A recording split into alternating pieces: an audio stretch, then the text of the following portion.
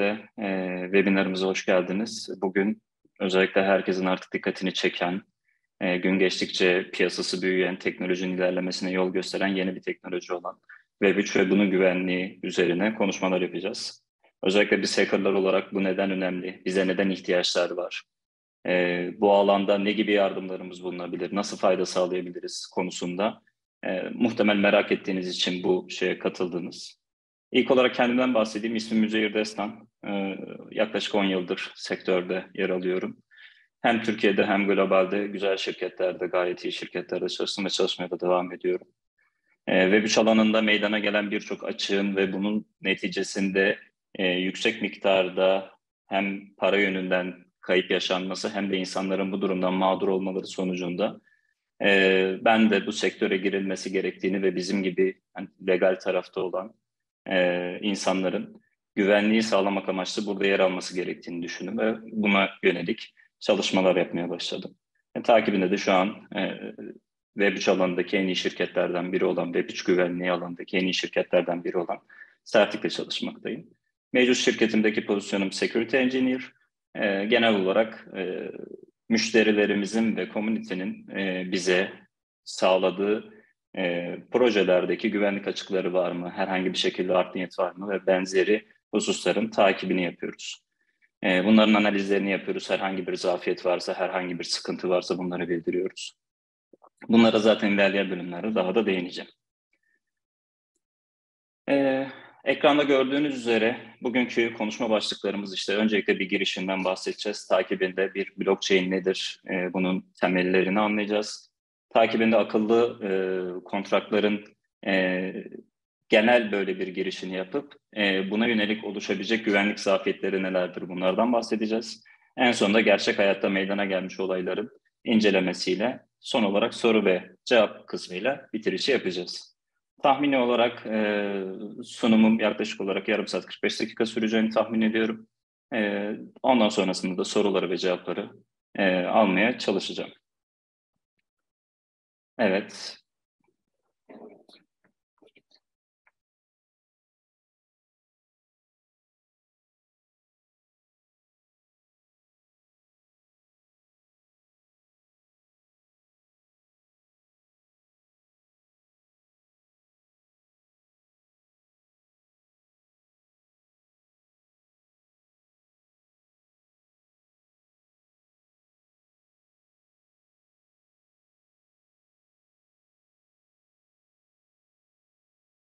Çok pardon. Ses gelmiyor mu? Ya bu aslında dikkatinizi çekmek için e, oluşturduğum bir şeydi ama sanırım şu an size ses gelmiyor. E, zaten Mahsun'u biliyorsunuzdur YouTube'dan. E, özel olarak bu şeyi devam edeceğim şimdi burada kalmayacağım. E, Web3 dediğimizde genelde Web3 dediğimizde genelde insanların kafasında canlanan durum e, sadece buradaki gördüğümüz şartlar üstünden gerçekleşiyor. Ben bir sonrakine devam edeyim. E, ama kesinlikle aslında e, Web3 dediğimiz sadece işte belli e, kripto platformları üzerinden yapılan alışverişler veya bu e, işte shortladım, longladım, 10x aldım, 100x kaybettim gibi durumlar değil. E, Web3 dediğimiz daha büyük bir e, kavram ve bunu anlayabilmemiz için öncelikle bunun geçmişiyle başlamamız gerekiyor. E, böyle 1990'lara doğru eğer birazcık zamanda yolculuk yapacak olursak ilk olarak biliyorsunuz ki Web 1.0 vardı.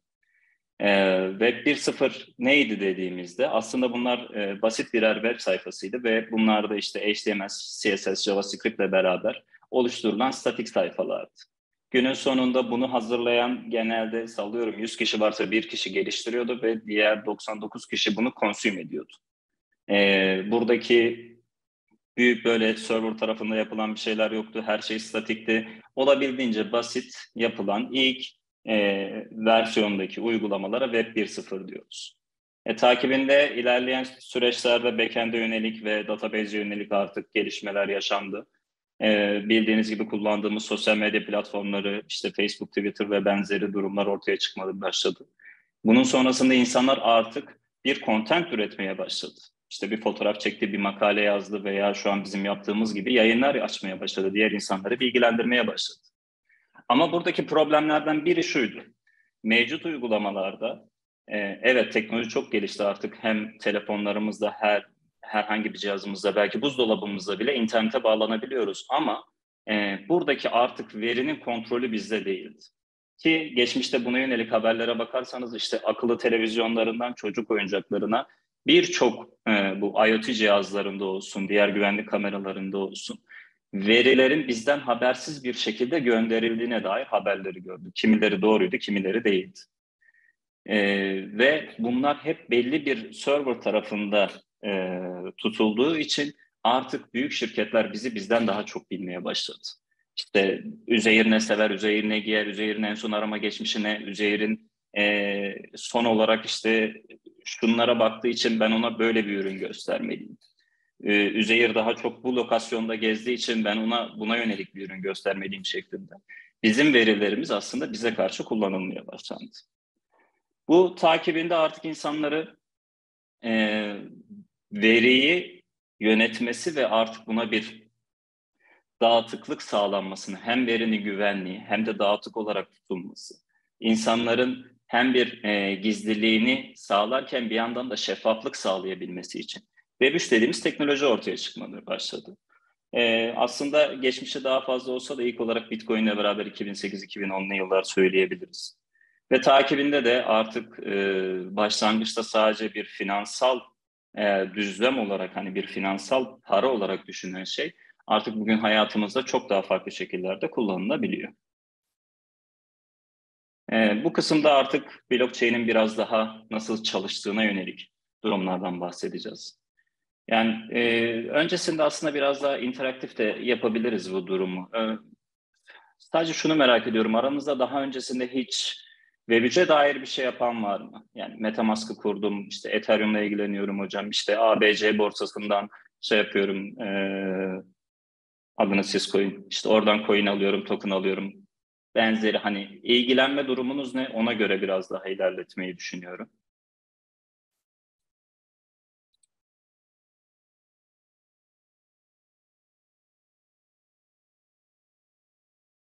Evet, aramızda sanırım bir veya iki kişi.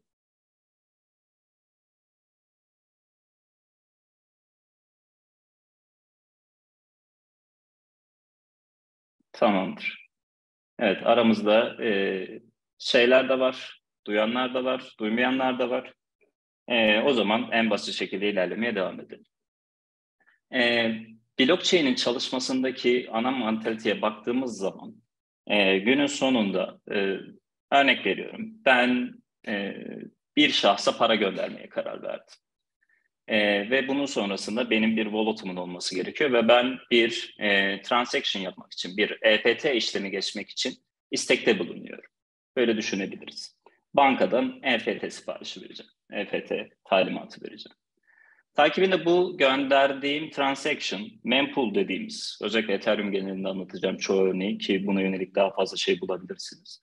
Mempool'da e, yer alır ve takibinde de buradaki e, bu transaction'ın bir doğru mu değil mi, işte ben olmayan paramı mı vermeye çalışıyorum, e, yapılması gereken kontrolleri validate eden bir not vardır, bir sorumlu vardır. E, tabii Proof of Work'te bu durum birazcık daha farklı.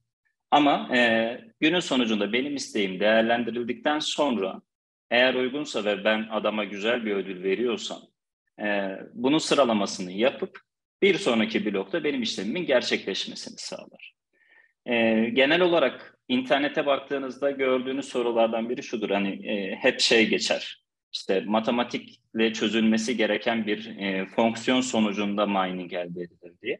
Buradaki görevde dediğimiz gibi hani burada mempool'a gönderdiğimiz e, bizim transaction'ımız e, minerlar tarafından ilk olarak kırılmaya çalışılır. Bir sonraki bloğun kırması gereken hash değerinin nonce değerini bulması için kırmaya çalışır. Ve takibinde de e, buna yönelik sıralama sonrasında da ödülünü elde eder. Şimdi birazdan daha da oturacaktır. Evet, blockchain'in temellerine baktığımızda blockchain aslında e, bir bakkal defteri gibi düşünebilirsiniz. Evet, bu kadar basit mi hocam? Evet, bu kadar basit. Ama bunu e, özel kılan şey şu. Bu defter aslında herkeste var. Bu cüzdan aslında herkeste var. Yani günün sonunda Üzeyir Ahmet'e 10 lira gönderdiğinde veya Ahmet Ayşe'ye 20 lira gönderdiğinde bu tüm defterler üstünde kayıt oluşturulmasını sağlıyor. Buradaki önemli olan hususlardan bir başkası ise bunu internete bağlı olan herhangi bir cihazla e, mevcut yapılan transaction'ın hem bir doğruluğunu hem de gözlemini yapabiliyorsunuz. Buradaki işte örnek veriyorum ben Ahmet'e 10 lira gönderdim, Ahmet Ayşe'ye 20 lira gönderdi ve benzeri bir takım transaction'ların e, oluşturduğu duruma blok diyoruz. Ve bu bloklar birbirleriyle zincir halinde bağlı. Yani bir her bir defterin sayfasını düşünelim. Bunlara blok olarak düşünelim. Biz oraya yazdık işte Üzeyir Ahmet'e 10 lira gönderdi. Ahmet Ayşe'ye 20 lira gönderdi. İşte Ayşe Fatma'ya 15 lira gönderdi şeklinde. Bu bloğumuzun aslında birinci sayfamız bizim birinci bloğumuz. Takibinde ikinciyi yazdığımızda iki oluyor, üç oluyor. Ve bunları bu şekilde düşünebilirsiniz. Ve bunların yanına eğer bir sıra numarası korsanız, yani ilk Üzeyir gönderdiği için yanına bir yazdım. İşte iki Ahmet gönderdiği için iki yazdım, üç yazdım. Bu da e, benzersiz tanımlayıcı olarak yani hash olarak yanına e, transaction'ı kaydediyoruz. Tabii buradaki bloklar birbiriyle bağlantılı olduğu için de gene öncesinde söylediğim gibi bir zincir halinde ve her biri e, onaylandıktan sonra herkes defterlerine bunu yazdığını düşün. Buradaki önemli olan hususlardan biri gene şu. Mevcut yapılarda neydi mesela ben bir transfer yapmak istiyorum. Bankanın sıralaması var. Banka normalde yapıyor. Ama örnek veriyorum e, bir bankayla bir sıkıntı yaşadım. Bu banka olmak zorunda da değil açıkçası. Bu e, eğer şey kullanıyorsanız onlarda da bu risk var. E, herhangi bir kripto exchange platformu kullanıyorsanız onlarda da bu sıkıntı yaşanabilir. Çünkü günün sonunda sunucunun kontrolü sizde değil. Sunucunun kontrolü sizde olmadığınız zaman e, burada istemediğiniz sonuçlarla karşılaşabilirsiniz. Örnek veriyorum benim yönettiğim bir banka var, Üzeyir Bank e, ve takibinde siz bir transfer yapmak istediniz. Ama ben biliyorum ki ben o transferi yaparsam benim maddi e, durumum kötü hale gelecek ve ben bunu durduruyorum. Blockchain tarafında ise durum böyle değil. Tüm notlar üstünden çalıştığı için aslında e, merkezi bir otorite yok. Tabii bu merkezi otoritenin olmamasının da getirdiği bazı sorumluluklar var. Bunu da ilerleyen bölümlerde gene bahsedeceğiz. Bunun haricinde mevcut blok içinde, transactionlar içinde katılımcı herkes bu durumları gözlemleyebilir. Etherscan, BSC ve benzeri birçok site üstünden e, girdiğinizde mevcut transaction'da kim kime göndermiş, ne kadar göndermiş veya hangi smart kontrağı çağırmış, hangi parametrelerle çağırmış bunları görebilirsiniz. Bu bize zaten aslında bir e, mevcut şeyin e, şeffaflığını gösteriyor. Bir transaction bir bloğun içinde yer aldıktan sonra bunu silmek veya e, değiştirmek olabildiğince zor. Çünkü mevcut yapıda şöyle düşünün, herkes defterlerine yazdı ve bir veriyi değiştirmeye çalışıyorsunuz. Günün sonunda e, tabii konsensus algoritmasına göre değişir ama mevcut yapıda sahip olunan e, defterlerin çoğunluğu sizin tarafınızda olmalı ki siz hani şunu diyebilirsiniz ya işte 100 tane defter var 51'i 60'ı bende ee, ben diyorum ki hayır sayfa 2'de Üzeyir Ahmet'e para göndermedi. Bu sayede evet bir değişiklik yapabilirsiniz ama e, dediğim gibi bunun olabilmesi çok büyük ya bir enerji ya bir computational power ya da çok sağlam bir maddi güç gerektiriyor. Bu ikisinden birinin olması lazım. Evet, bu dediğim gibi konsensus algoritmasına bağlı. İşte blockchain içinde mevcut transaction'ların ve şeylerin e, yetkisiz değişikliklerini engellemesi için e, günün sonunda herkesin aslında bir public ve private key var. Public ve private key'i şöyle örneklendirebiliriz. E, tahmin ediyorum ki buradaki e, katılımcıların çoğu bilgisayarla öyle ya da böyle bir e, ilişkileri var. İşte SSH'tayken de kullandığımız örneği verebiliriz. Günün sonunda bizim bir private key'imiz var ve bu private key üzerinden üretilen bir public key'imiz var. Public key bizim kim olduğumuzu belirtmemizi sağlayan, hani e, evet bu Üzeyir Destan dememizi sağlayan bir e, anahtardır. Private key ise güvende tutmamız gereken ve kimseyle paylaşmamamız gereken bir anahtardır. Blockchain'de özellikle bu e, teknolojiyi kullanarak insanlar gerçekten bu transaction'da bir legitimacy var mı? Bir e, acaba dolandırma fraud işlemi var mı? Bunların takibini bu şekilde kolaylıkla halledebiliyor. Yani siz örnek veriyorum elinizde herhangi bir SSH işte key'iniz yoksa istediğiniz herhangi bir sunucuya SSH yapamazsınız. Günün sonucunda anahtarlar uyuşmayacak. Aynı durum blockchain için de geçerli. Ee, benim transaction'ımı replicate etmeye çalıştığınızda benim anahtarıma sahip olmadığınız için e, bu durumu gerçekleştiremeyeceksiniz. Konsensus algoritmaları ise network'ün ne şekilde bunları deftere yazacağını e, karar veriyor. İşte proof of work var, proof of stake var, e, practical Byzantine fault tolerance var. Yani en en çok ikisini çok duyacaksınız. Proof of work ve proof of stake'i en çok duyacağınız iki konsensus algoritması. Gene örneklerimize geri dönecek olursak, e, şundan bahsetmiştim hatırlıyorsanız. Ben bir transaction yaptım. Ben işte Ahmet'e 10 lira gönderdim. Herkes defterlerini kaydedecek. Burada şu soruyu soruyoruz. Ya tamam bu işi biri yapacak. İşte proof of work'te ne diyoruz? Mining işlemi. Yani ben diyorum ki işte dördün karekökü kaç? Hemen iki olduğunu söyleyebiliyoruz. Ama çok zor bir sayı sorduğumda ve bunun matematiksel olarak hesaplanması gerektiğinde artık hesap yapmamız gerekiyor. Proof of Work'te de durum bu aslında. Hani biz zor bir e, hash'in oluşmasını bekliyoruz. Diyoruz ki bize bu hash'i verecek değer kaç?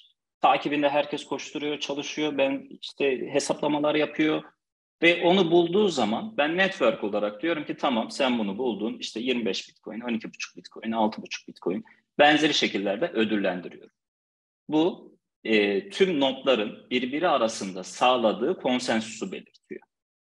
Proof of Stake'te ise mevcut yapıda e, bu sefer artık herkesin aynı şekilde çok güçlü cihazları olmayabilir.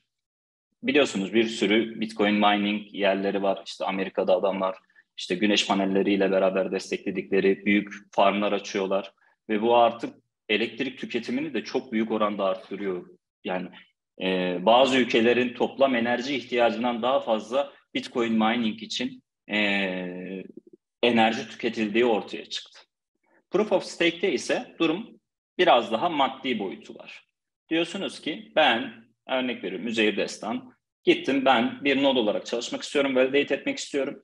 Ne yapmam lazım? İşte elimde bir 16 tane, 32 tane Ether var noda girebilmem için.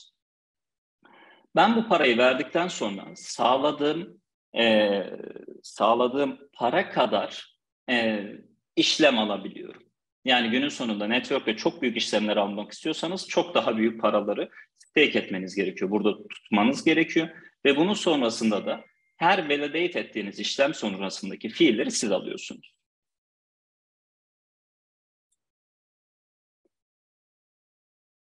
Öncesinde anlattığım gibi e, normalde Bitcoin çıktığında herhangi bir şekilde smart kontratlar ve işte benzeri teknolojiler düşünülmüyordu. Bunlar daha çok hayatımıza Ethereum ve sonrasında gelişen terminolojiler.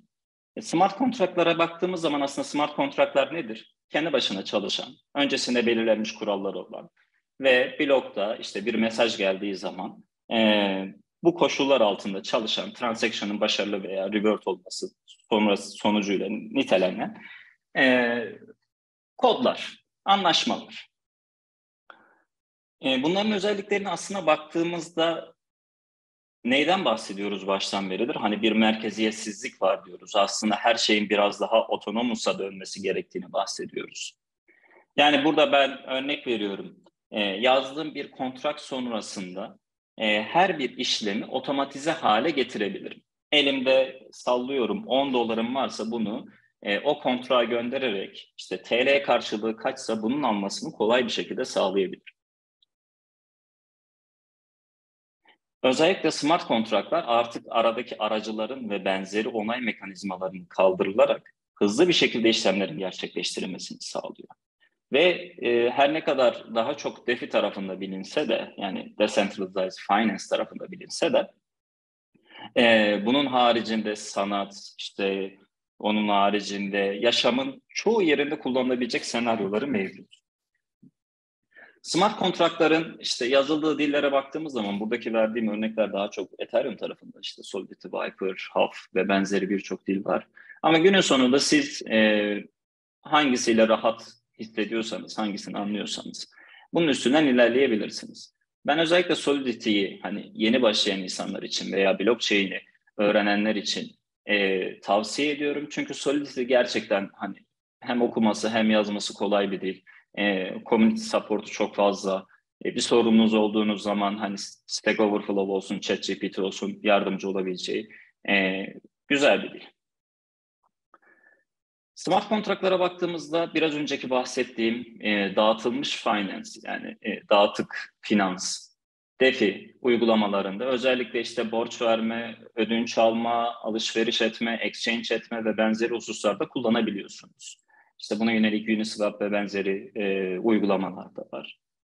Bunun haricinde e, bazı yaptığınız işte işlemlerin doğruluğu, şeffaflığı, e, biliyorsunuz deprem zamanında olmuştu işte Haluk Levent'e e, özellikle bayağı bir e, tokenlar, coinler geldi ve bunu aslında tüm halk olarak takip edebildik. Normalde Haluk Levent'in kendi banka hesabı olsaydı bizim bu bilgilere erişebilme şansımız yoktu. Ama Ahbap için verdiği o adres üzerinden sadece işte Etherscan, BSCscan artık hangi platformlardan aldıysa bunlar üzerinden takip yaptığımızda evet işte Haluk Levent'e şuradan şu kadar para geldi, buradan bu kadar geldi diyerek bir yandan da işin şeffaflığını öğrendik. Bunun haricinde e, dağıtık e, otonom organizasyonlarla beraber hem bir şeffaflık hem de karar verme mekanizmaları. Örnek veriyorum, mahallenize yapılacak bir tane çocuk parkı var e, ve mahallenin görüşleri alınmak isteniyor. E, burada yapacağınız bir oylama üzerinden günün sonucunda herkesin private key'leri ve public key'leri farklı olacağı için oylamalarınızı çok daha rahat bir şekilde artık e, teknolojiyi tamamen hayata entegre ederek gerçekleştirmesini sağlayabiliyorsunuz.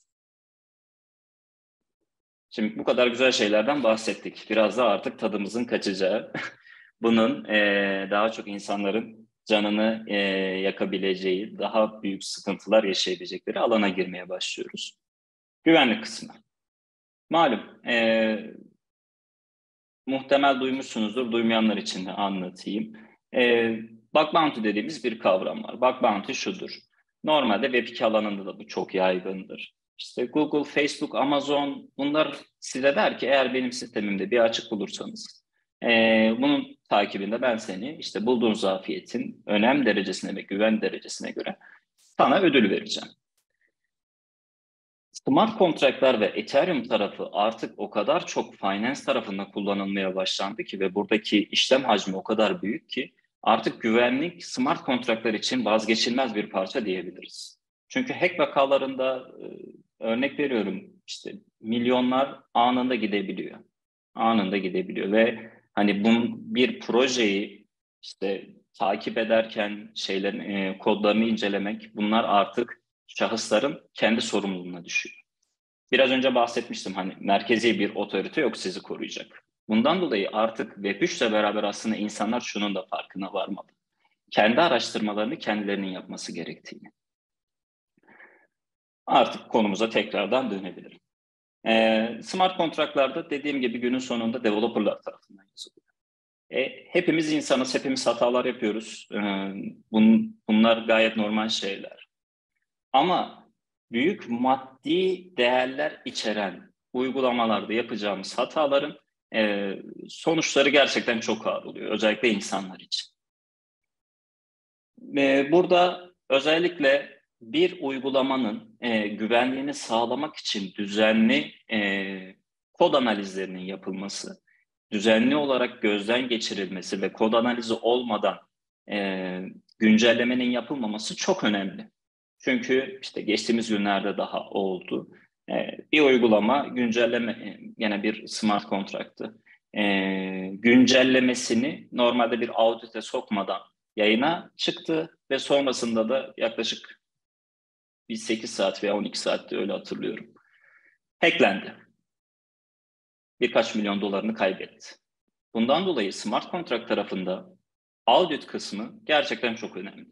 ve projenin güvenliği ve size yatırım yapan insanların, projenize inanıp e, size destek olan insanların güveni boyutunda gerçekten çok önemli.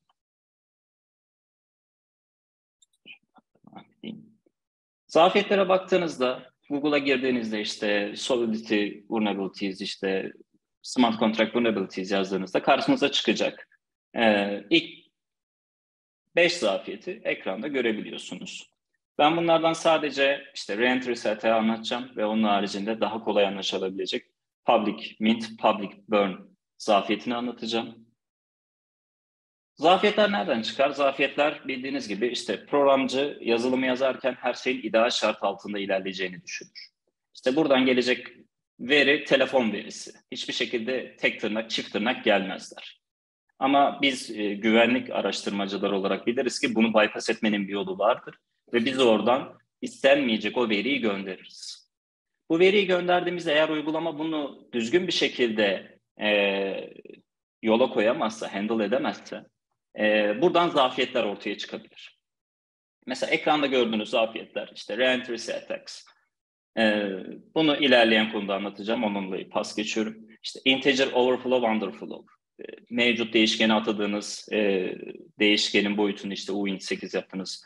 uint işte 40 yaptınız ama daha büyük bir veri geldiği zaman taşmaların veya az kalmaların veya başka bir smart kontra çağırdığınızdaki oluşabilecek zafiyetler. Veya modifier'larda örnek veriyorum bir fonksiyon yazdınız. Bu fonksiyonun normalde dışarıdan erişilmemesi lazım. E, hatta aslında bu access control issues ve 2'de de şu an en yaygın zafiyetlerden biri.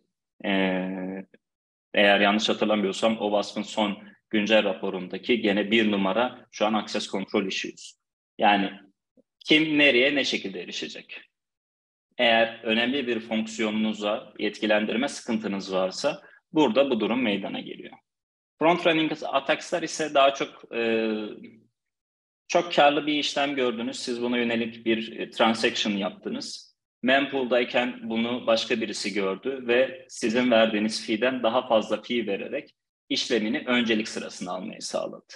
Ve normalde örnek veriyorum siz orada 10 eterlik bir kar elde edecekken o sizden daha fazla fee vererek 10 eterlik karı o elde etti. En basit haliyle bunu bu şekilde anlatabiliriz. Backdoors bildiğiniz gibi aslında bu gene sadece Web3'e has değil, Web 2'de de mevcut durumda var olan zafiyetler. Backdoor'lar arka kapılar. E, mevcut uygulamalarda sonrasında erişim sağlanabilmek amacıyla yerleştirilen. İşte bugün telefonlarınızda olabilecek veya buzdolaplarınıza veya herhangi bir yani içinden elektrik geçen ve bir işletim sisteminin, bir uygulamanın çalıştığı cihazlarda e, olabilecek zafiyet türleri. E, backdoor'lar Web3 alanında neden önemli derseniz günün sonunda işte bir cihaz aldığınızda e, örnek veriyorum. Evet telefonumuzda çok hassas verilerimiz var ama diyelim ki benim kahve makinemde bir backdoor var.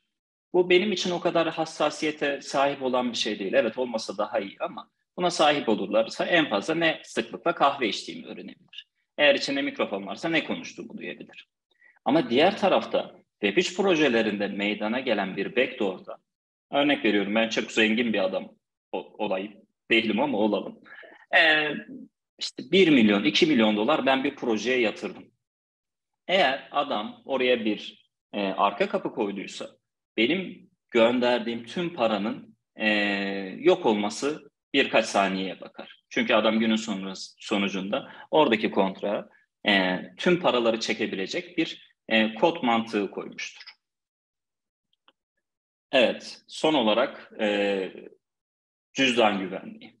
Şimdi burada ben bazı katılımcılarımızın işte Metamask kullandığını veya duyduğunu veya e, bir şekilde denk geldiğini gördüm.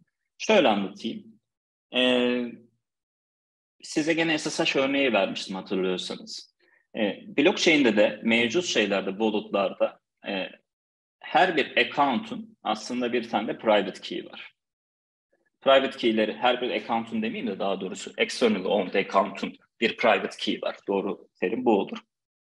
Ee, sizin işte ürettiğiniz bir anahtar sonrasında e, bunu güvenli bir şekilde saklamanız gerekiyor. Bunu isterseniz bir hardware wallet alabilirsiniz, isterseniz bir browser extension kullanabilirsiniz, isterseniz kendiniz üretebilirsiniz. Ama önemli olan, buradaki en önemli olan hususlardan biri söylediğim gibi merkezi bir sistem olmadığı için buradaki cüzdanınızın güvenliği sizden sorumlu. Bunu sağlamak zorundasınız. Örnek veriyorum. Cihazınıza MetaMask'ı kurdunuz. Hani yapmazsınız ama hani malum Türkiye'de yapanlar var. Ee, cracklenmiş, kırılmış uygulamaları, işletim sistemlerini kullanan vatandaşlarımız var. Bu aşikar. Bunda şey yapmaya gerek yok. Bunlar mesela büyük bir güvenlik problemi meydana getiriyor. Çünkü günün sonunda o kullanıcı yani saldırgan zaten adamın bilgisayarında yer ettiği için sen onun içine işte 100 dolar, 50 dolar, 1 milyon dolar ne atarsan at aynı zamanda adamın da eline veriyorsun. Çünkü adam senin saklaman gereken bu private key'ini çoktan kendine gönderdi, collect etti, otonomus bir şekilde çekmesini de sağladı. Bunun haricinde işte hardware wallet'lar gene keza bağladığınız yerlere bağlı olarak değişir. Bunun haricinde e, Metamask ve benzeri uygulamalarda e, artık kişilerden bazı harcama yetkileri ister. Örnek veriyorum. Siz bir exchange yapacaksınız. Elinizde işte sallıyorum bin dolar var. Ama böyle parça parça işte bir 50 dolar bozuyorsunuz, bir 20 dolar bozuyorsunuz, işte geri dolar alıyorsunuz. Ve bunların her birinde bir fee var. Harcama yetkisini bilerek yüksek veriyorsunuz ki güvendiğiniz bir kontrak olduğu için. Ya ben sana bin dolara kadar izin veriyorum ama ben bunu parça parça kullanacağım. İkide bir ben fee vermek istemiyorum. E, maliyetimi azaltmak istiyorum. E, takibinde siz bunları yaptınız yaptınız ama sonrasında uygulama hackler. Hemen mesela bu şeyi verdiğiniz e, harcama yetkisini iptal etmeniz gerekiyor. Mesela buna yönelik geçmişte de olan saldırılar oldu. OpenSea tarafında bir phishing saldırısıyla işte kullanıcılara bazı e, transaction'lar imzalatıldı ve onların hesabından paralar çekildi. Bundan dolayı bunu şuraya bağlayacağım. E, Web3 dünyasındaki en çok dikkat etmeniz gereken hususlardan biri aslında gerçekten bu wallet security. Eğer kendi cüzdanınıza, eğer bu alanda işte bir projeye yatırım amaçlı olabilir, bir teknolojiyi keşfetmek amaçlı olabilir. Her ne yapıyorsanız yapın ama kullandığınız e, bu cüzdanın bir e, işte şeylerini, private key'ini özellikle çok güvenli bir şekilde ve başkalarıyla da paylaşmadan yapmanız lazım. Çünkü mesela geçmişte olan olaylardan gene örnek verebileceğim bir durumu söyleyeyim. Ee, işte bir projede remote olarak tuttukları, freelance olarak tuttukları developerlara private key'leri de vererek e, projenin gelişmesi sağlanıyor. Oradaki developerlar o private key'lere sahip. Takibinde proje gerçekten popülerliğini tutuyor ve işte belli bir miktar e, kullanıcılardan destek alıyor.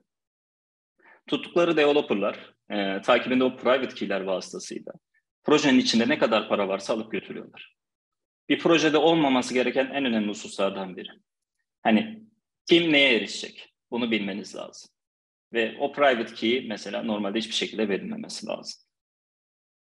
Şimdi gelelim herkesin en çok gördüğü, yani bugün direktmen smart contract vulnerabilities yazdığınızda karşınıza çıkan e, vazgeçilmez zafiyetimiz reentry attacks.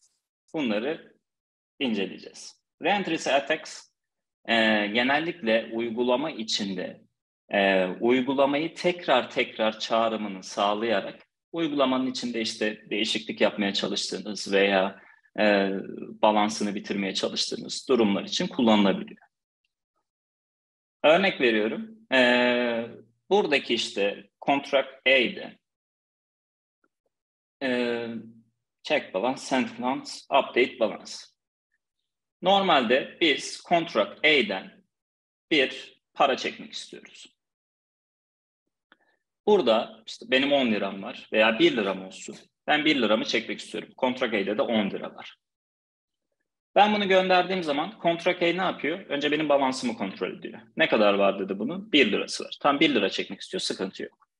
Benim paramı bana gönderdi. Ama bana değil, ben onu kontrak B'ye gönderdim. Böyle düşünebilirsiniz. Burada kontrak B'yi ben olarak düşünebilirsiniz. Buradaki fallback fonksiyonuyla beraber ben tekrardan kontrak E'ye döndüm. Dedim ki ben paramı çekmek istiyorum. Normalde benim balansımı değiştirdi mi? Hayır. Balansı değiştirme bir sonraki adım. Tekrar geldi. Balansımı kontrol etti. Check balans dedi. Ne kadar? Bir. Ee, tamam göndermemişiz. Tekrar gönder. İkinci coin'i gönder. ikinci bitcoin'i gönderdi.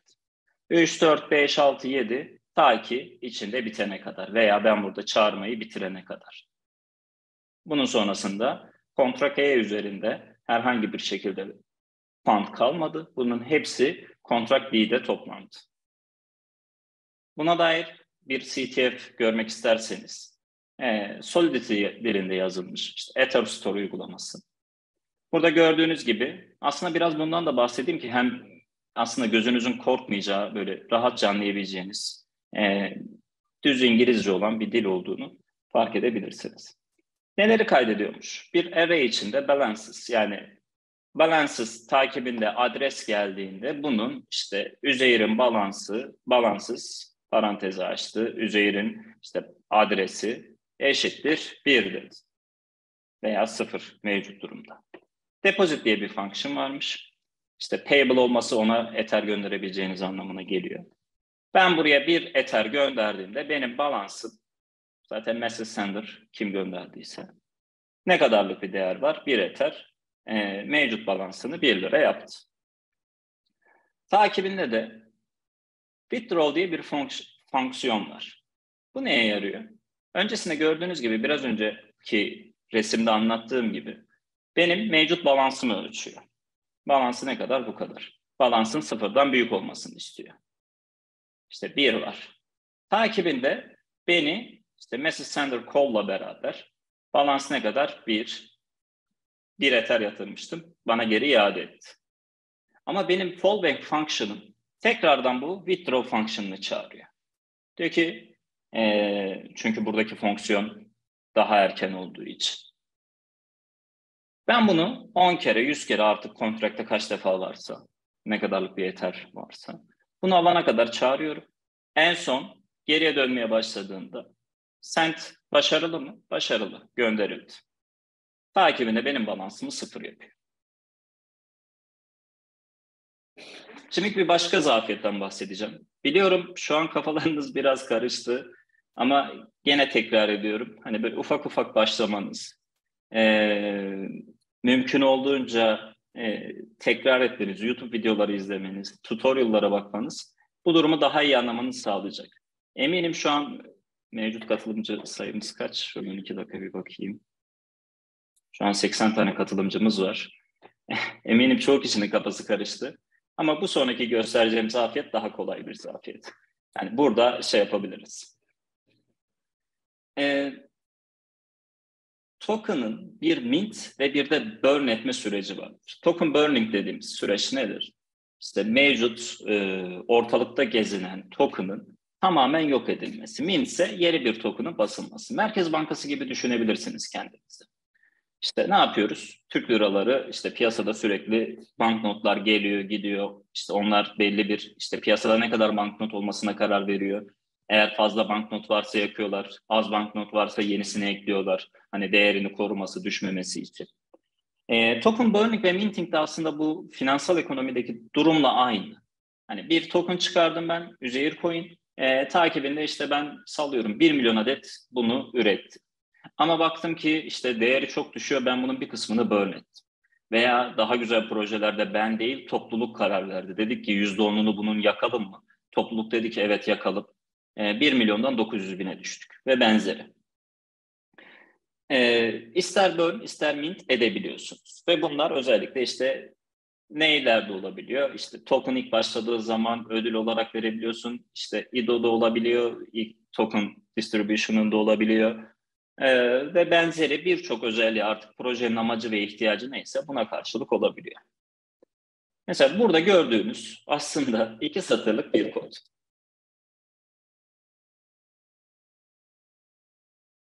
Ne gibi bir sıkıntı olabilir sizce? Biraz gene interaktife döneceğim ama hani cevaplarınızı merak ediyorum. Yani birinin public bir şekilde token üretebilmesi veya yakabilmesinin ne gibi bir zafiyeti olabilir? Yazabilirsiniz QA kısmına veya chat kısmına, sıkıntı yok.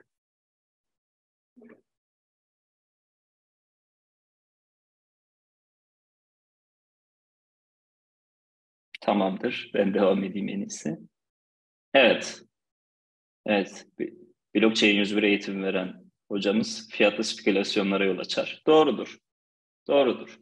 Ama bunun haricinde şöyle durumlar da var. Şimdi örnek veriyorum. Public burn. Fonksiyona tekrardan bakalım. Ne dedik? Kimden ne kadar yakacağız? Olayın sadece spekülasyon boyutu haricinde şu boyutlarını düşünelim. Ben bir token yarattım, dağıttık. Ben, Ali, Ahmet, Ayşe, Mehmet, 4-5 kişi de var.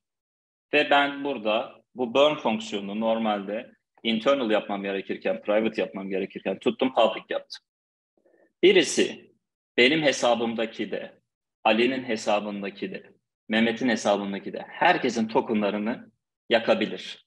Kişi bazlı zarar verebilirsiniz direktmen. Yani günün sonunda düşünün işte hesabınızda 10 bin dolarınız var. Ertesi gün biri sadece size gızık olduğu için ve kodda bir zafiyet olduğu için 10 bin dolarınızı e,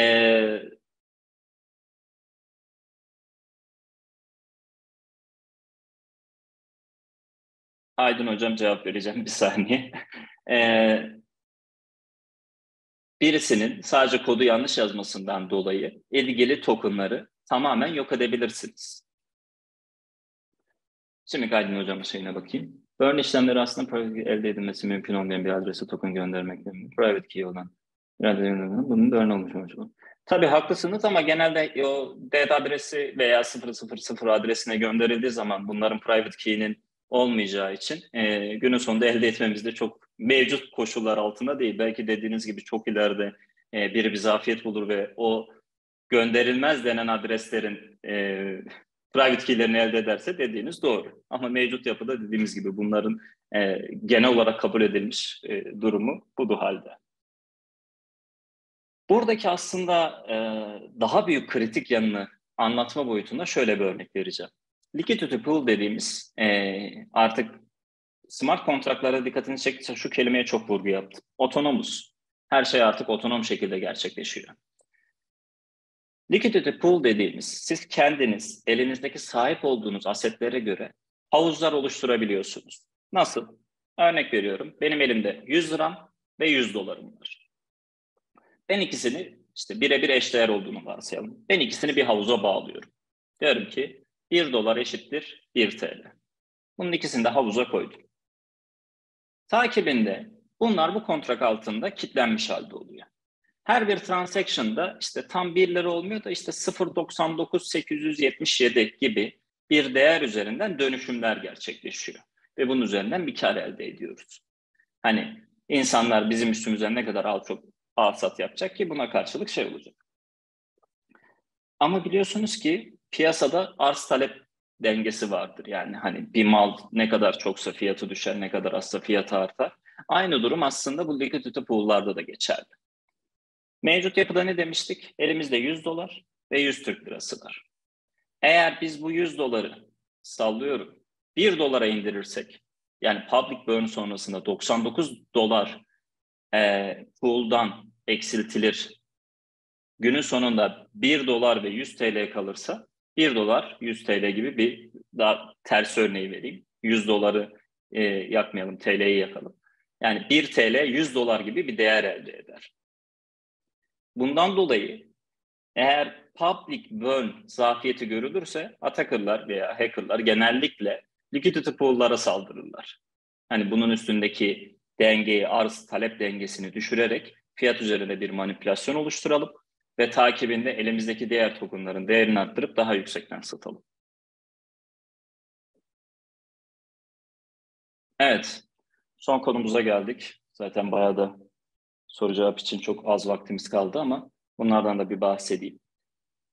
Web3 dünyasındaysanız e, nasıl gerçek hayatta Web2 için işte SOC ekiplerimiz var, diğer e, takip ekiplerimiz varsa Web3'te de bu takipleri yapabiliyorsunuz. E, Sertin'de Skynet üzerinden e, ilgili projeler hakkında bilgiler alabilirsiniz. İşte en son neler yaşanmış, neler olmuş bunları görebilirsiniz. Hatta takibini de burada da açacağım. Yani görebiliyorsunuz değil mi?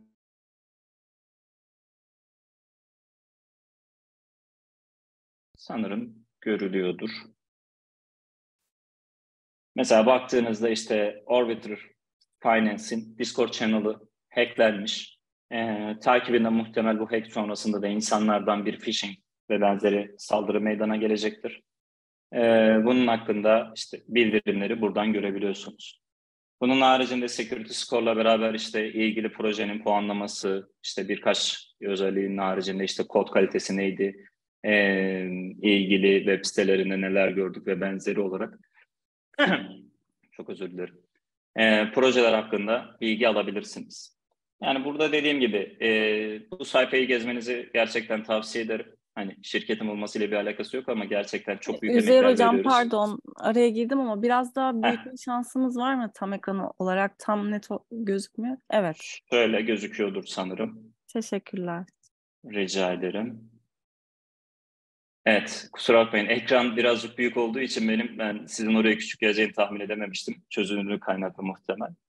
Ee, burada işte Skynet Alerts kısmına geldiğinizde işte burada alert'ın ne tür olduğunu, işte Tornado'ya birisi muhtemel para kaçırmaya çalışıyor bir hack vakası sonrası.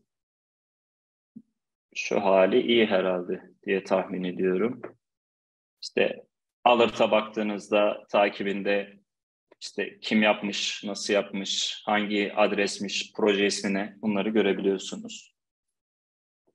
Bunun haricinde bir başka malum hepimiz Twitter kullanıyoruz. Static Alert web sayfamız. Ee, burada özellikle işte bir tane örnek olayı açalım. İşte 053 ile başlayan bir adresten Tornado Cash'e 10 e, eterlik bir şey gittiğini göstermişler. Onu bildirmişiz. E, takibinde mesela e, BSC'deki bu adreste Metanil projesinde büyük bir oranda likiditinin e, kaldırıldığını dikkat etmişiz. Muhtemel bir exit scam olabilir diye uyarmışız. İlgili zafiyetlerde e, neler olduğunu, hani bunu iki yönden tavsiye ediyorum. Bir, hani Web3'e inanabilirsiniz, güvenebilirsiniz, bir proje hakkında bilgi almak isteyebilirsiniz. Bundan dolayı bu sayfaları takip etmeniz, hani projelerde bir sıkıntı var mı, yok mu, işte audit reportlarında neler çıkmış, ne tür zafiyetler yapmışlar veya birisi gerçekten dolandırıyor mu, exploit mi ediyor, backdoor mu koydu? Bu gibi sonuçları bulabileceğiniz ve takip edebileceğiniz iki güzel sayfa olarak tavsiye ediyorum. Evet, sonunda özet kısmına geçiyoruz. Dediğim gibi datanın kontrolü bizde değildi. Web2 dünyasındayken çektiğimiz her şey belki şu an Zoom tarafında, YouTube tarafında işleniyor, kaydediliyor. Ama Web3 tarafında artık bunların dağıtık bir şekilde e, datanın kişiye özgü olacağı şeklinde sahipliği ve kontrolü. E, bir interaksiyona girdiğimizde onların e, sunucuya sahip olanın her şeye sahip olduğu değil ama kişilerin, bireylerin haklarının olduğu ve buna yönelik gizliliğin sağlandığı e, alanlarda büyük bir gelişim bekliyoruz. E, smart kontratlar Web3 teknolojilerin aslında en gelişmesine katkı sağlayan gelişimlerden biri olarak değerlendirebiliriz. Ama onların e, güvenliği boyutu ise e, tahminlerimizin çok daha ötesinde önemli. Bir, e, genel olarak finansal projelerde veya sanatsal NFT dediğimiz veya devir teslim dediğimiz herhangi bir projede oylamalar olabilir. E, bunlar genel olarak smart kontrakta yazıldığı için e, buralarda çıkabilecek zafiyetlerin etkisi çok daha büyük olacaktır. Mevcut projeleriniz yani herhangi bir projeye yatırım yapmayı düşünebilirsiniz, yer almak isteyebilirsiniz, destek olmak isteyebilirsiniz, bir gönüllü olabilirsiniz. Bunlarda düzenli olarak e, kod analizinin yapılıp yapılmadığı ve işte buna yönelik raporlar yayınlanıp yayınlanmadığına e, dikkat çekmenizi tavsiye ederim. Herhangi bir e, sadece yatırım boyutunda söylemiyorum. Bir projeye yönelik çalışacaksınız, e, bir katkı sağlamak istiyorsunuz, iyi niyetle çıktığını düşünüyorsunuz. E, bunlarda da kod analizlerinin olması gerektiğini unutmayın. E, buradaki smart contract'teki backdoor'lar istemli veya istemsiz şekilde olabilir ve bunların sonucunda büyük miktarda paralar gidebilir. Beni dinlediğiniz için teşekkür ederim. Ee, şu an web sitesi URL linki görünmüyor. Tamamdır. Ben hemen şuradan chat'e atayım. Bir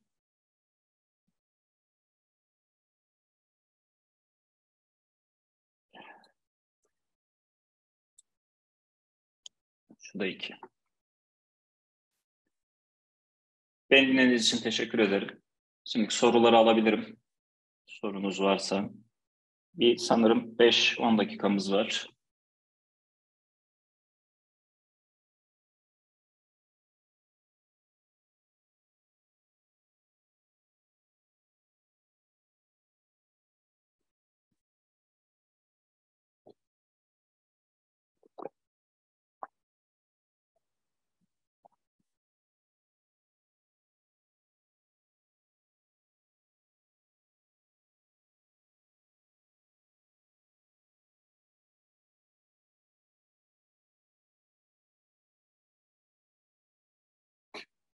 Hocam biliyorsunuz ki günümüzde yapay zeka oldukça popüler ve bunun bir sonraki adımı ise kuantum bilgisayarlar. Bu da Ethereum 2.0 konsensusunu %51'ini ele geçirme ve hashing algoritmaları, public ve private keyleri kıyma gibi kırma gibi güvenlik sorunlarını ortaya çıkaracak. Simcon hakkındaki düşünceleriniz neler? Bununla yönelik şirketin çalışmalar mevcut mudur?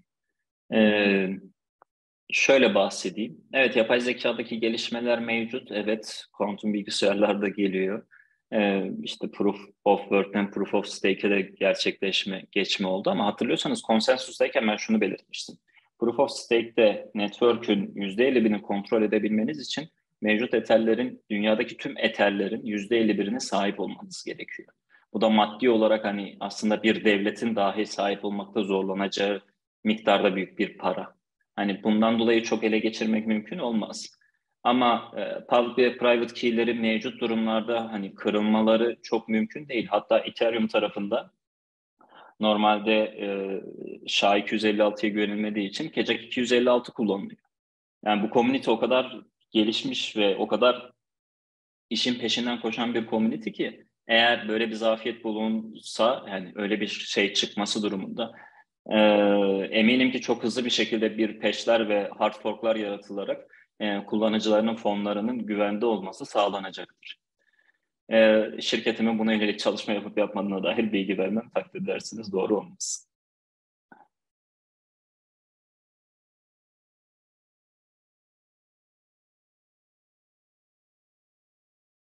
İkinci soruda ben soruyu okuyayım. Herkes de bir aynı zamanda şey yapsın. Ee, bir zafiyetlerinden hackerlar çaldıkları tokenları stake havuzuna atarak izlerini kaybettirme yöntemleri uyguluyor ve bu saldırgan yöntemini önlemek için bir çalışma var mı? Aslında buna yönelik Amerika'nın getirdiği bir kanun e, kanuna yönelik ya kanun diye yönetmekle emin değilim yanlış bilgi vermek istemem. E, Tornado Cash sizin söylediğiniz özellikle hackerlar çaldığı zaman zaten bakın buradaki alarmlardan birinde de şuradaydı herhalde. Tornado, Tornado Cash'e işte 10 Ether'lik bir değer gönderildi. Şu an bir Ether 2000, 2000 dolar bantlarında mıydı, 1500 bantlarında mıydı emin değilim de. Ee, yaklaşık olarak 1500 olsa 15 bin dolarlık falan bir şey gönderilmiş. Ee, burada aslında community biraz ikiye bölünüyor. Bunu işte Tornado Cash'i savunanlar var. Code is the law diyorlar. Yani günün sonunda birini kod yazdığı için suçlayamazsın diyorlar.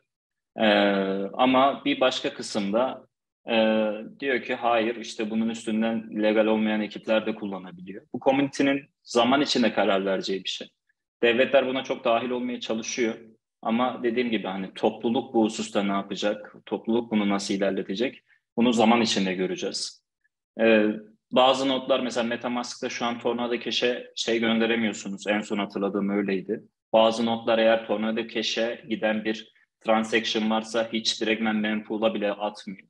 Hani bunlar önlenebilecek şeyler. Ama günün sonunda e, topluluk gene kendi bir karar verip hani bu şeyi sağlayacak. Mustafa Hocam'ın bir sorusu var. Son zamanlarda smart kontratlarda en çok çıkan zafiyetler neler hocam? Gözünüze çarpan var mı? Ya birden fazla zafiyet türü var. Mesela şu size gösterdiğim e, public burn e, zafiyeti sonrasında yaklaşık 9 milyon dolara yakın bir para çalındı. Keza başka bir fonksiyonda işte akses kontrol hususlarında da e, gözüme çarpanlardan var. Yani e, kontratların sahiplerini belirleyebiliyorsunuz. Kontratlardaki hassas işlemleri yaparken e, diyorsun ki sadece Üzeyir yapsın, Mustafa yapsın, o yapsın, bu yapsın. E, ama burada sahibi değiştirme fonksiyonunu e, public bir halde bırakmışlar. Bunun sonrasında da bir hacker oranın kontrolünü alıp e, takibini o kontrak içindeki tüm paraların çekilmesini sağladı. Yani bu, bu hususta size tavsiyem dediğim gibi gösterdiğim sayfaları bolca gezip takip ederseniz hem bir kulak aşinalığınız olacak hem de ilerleyen zaman içinde evet ya ben bu zafiyeti duymuştum, evet burada da şöyle bir şey olmuştu diye daha bilginiz artabilir.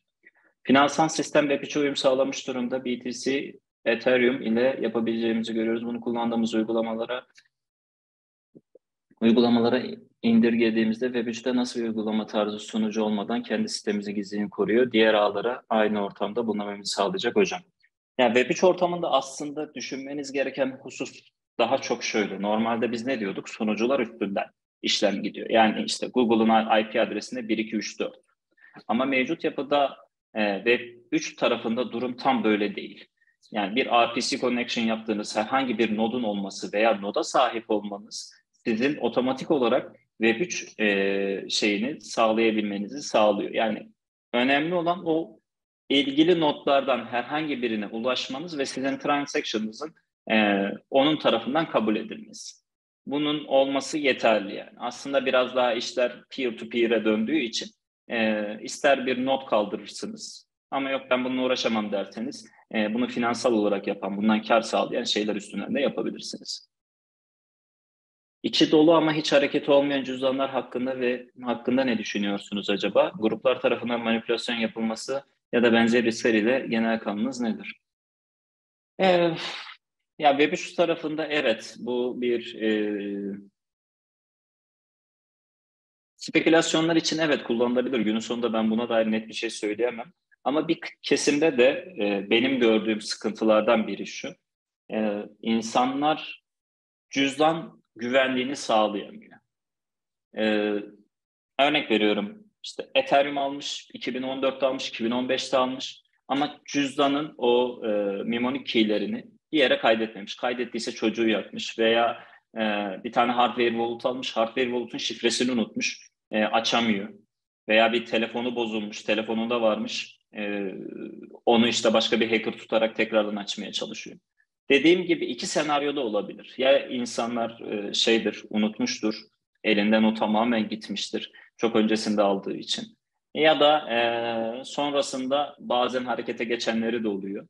E, dediğim gibi hani bu iki her iki senaryo için de kullanılabilir. Abi selamlar. Sektöre smart kontrak auditler için giriş eşiği nedir? E, veya şirketler neye tecrübeler olarak bakar? Eternaut gibi CTF'ler public audit yarışmalar dışında tecrübe olarak gösterecek bir şey göremedim. E, yani bizim sektör aslında Web 2 için de bu durum geçerli. Benim hani gençlere özellikle tavsiyem bu hususta şu oluyor.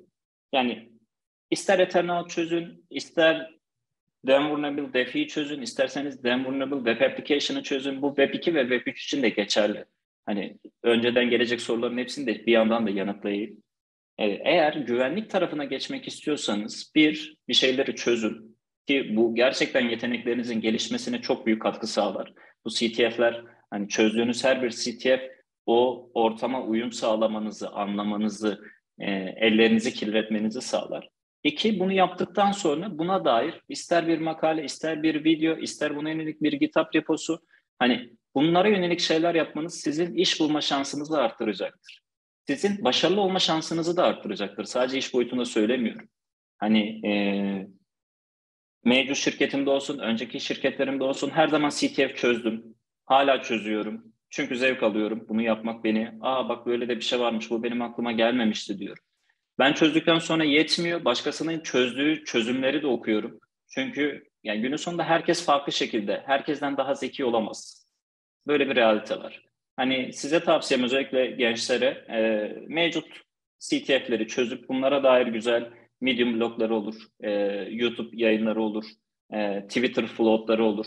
Bunlara yönelik şeyler yaptığınızda inanın e, iş bulma işiniz daha kolaylaşıyor. Veya en son olarak bir şey daha söyleyebilirim.